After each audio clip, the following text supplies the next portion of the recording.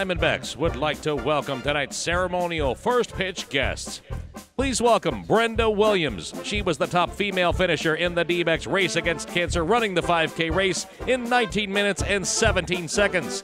And Rory Moynihan finished the race first overall, finishing in just 15 minutes and 16 seconds.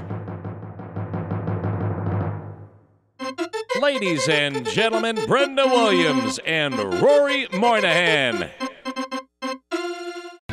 Well, that is uh, 50 Cent.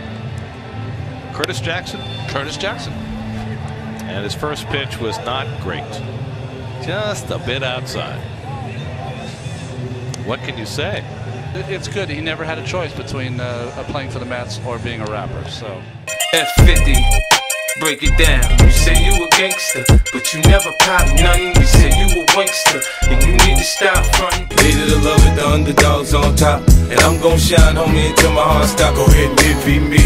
I'm Raps MVP, and I ain't going nowhere, so you can